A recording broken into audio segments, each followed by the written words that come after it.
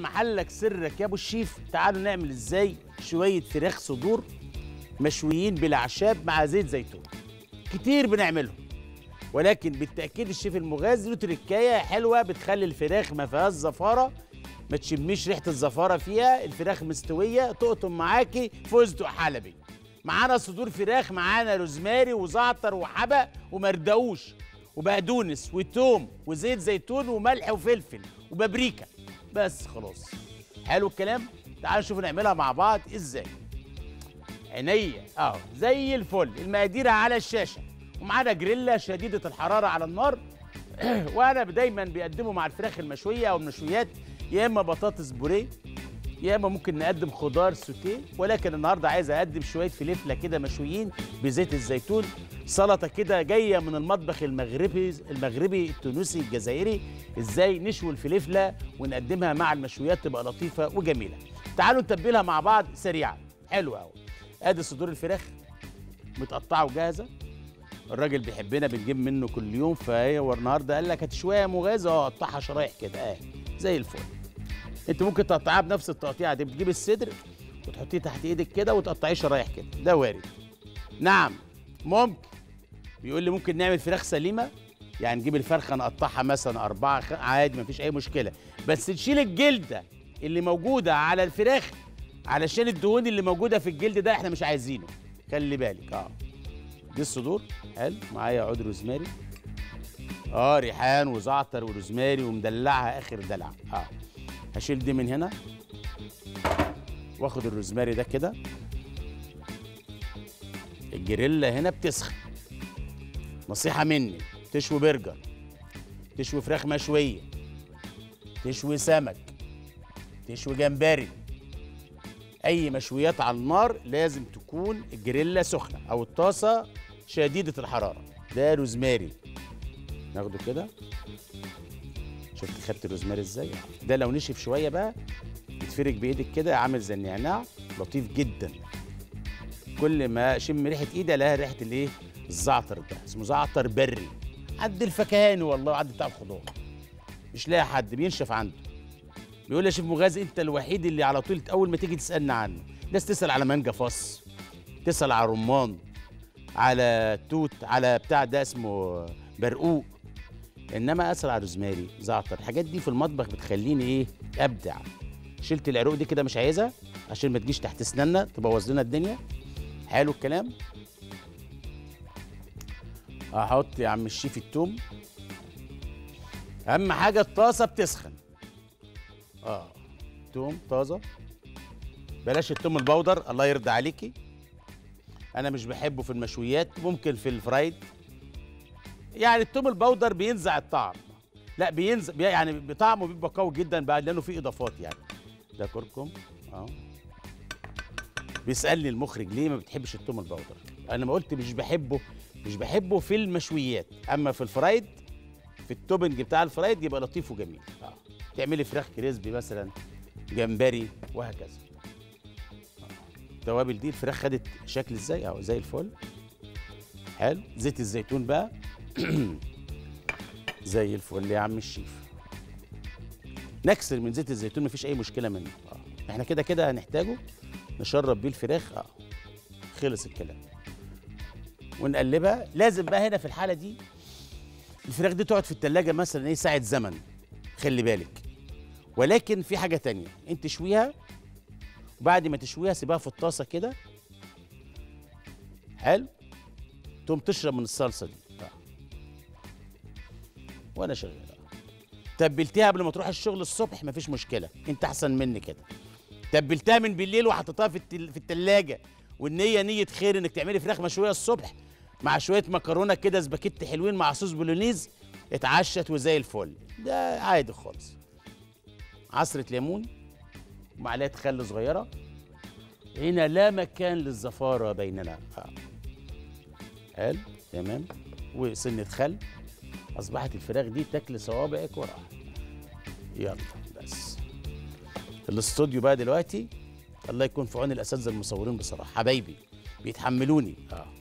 انت شيف وانت حر في ال ال الرئة بتاعتك والجهاز التنفسي إحنا ذنبنا إيه آه آه شايفين الجو ده كده هو ده هو ده آه.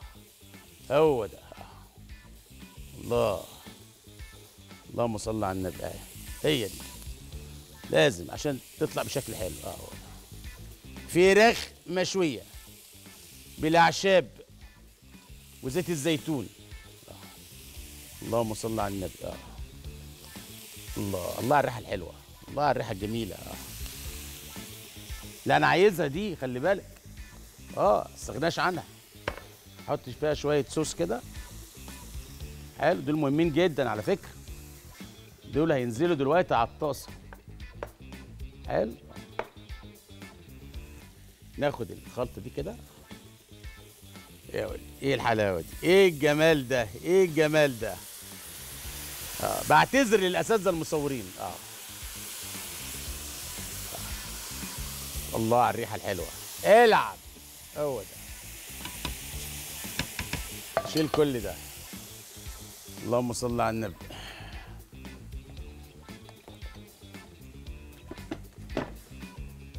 ونقلب من أول ما بدأنا. الله. حاضر. حاضر يا غالي. عايز تشوف الحاجات الحلوة دي انت أنا عارف. دلعك أنا. شفت؟ هو الريحة في الاستوديو ها؟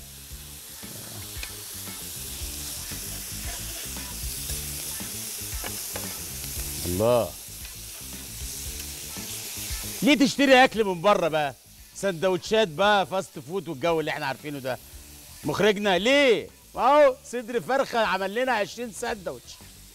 آه حلو تمام. فراخ جاهزة؟ اعمل تركاية كده. معانا وقت يا شباب؟ معانا وقت. زيت زيتون. اللهم صل على النبي. زيت زيتون. بلانشا رايقة زي دي كده. شوية خضرة حلوين منهم البصل. عايز أعمل شكل حلو؟ ما أنا واقف فاضي ما ورايش حاجة. طالما معايا وقت. البصل ده كده مشوي. آدي الفلفل. التقطيعه دي مهمه اوعى تعوري إيدك. أهم حاجة أهو. تفرحي إنك بتطبخي حلو وبتاع وتعلمتي من الشيف المغازى حاجة. والسكينة صباعك يجي تحت منها. آه. السكينة ملهاش أمان. آه. حلو قوي معايا بصل أخضر؟ يا ويلي عاشق البصل الأخضر. شيف المغازي مع طبق الفول. آه. عملتش حاجة أنا؟ presentation تحت المشوي. زي ما هم كده زي ما هم. لسه ما خلصتش لسه. اصبر على رزقك تاكل حلاوة. آه ده الروزماري. آه ده الزعتر. بس خلاص.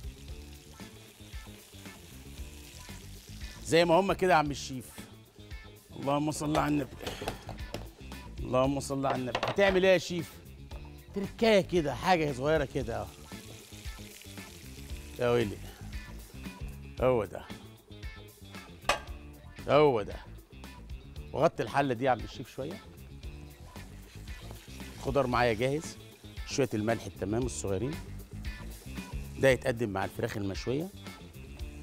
زي الفل. شوية زعتر. شوية ملح. شوية فلفل. مش لازم خضار سوتيه. مش كل يوم خضار سوتيه. نغرف مع بعض ال- الكوكينجز بتاعنا عشان الأطفال الحلوين اللي بيتابعونا دلوقتي. حلو. ماما تعمل لهم الحلو ده. آه. الطبيعي بنغير كده. بسم الله الرحمن الرحيم.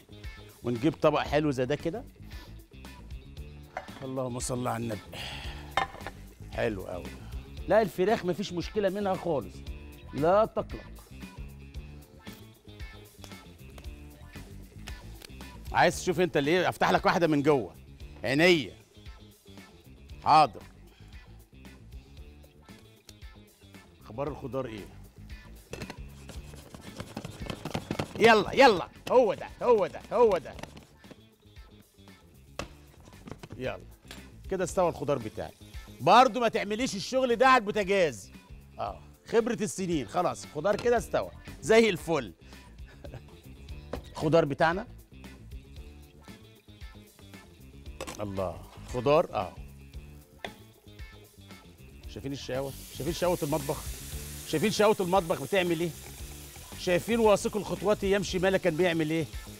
ده شغل جامد ده ده مش في المكرر مش في المكرر خالص يا شفيق. آه. آه آه. شوية ال- البهريز اللي نزلوا من الخضار. آه. علوا الفراخ المشوية. آه. ده خضار.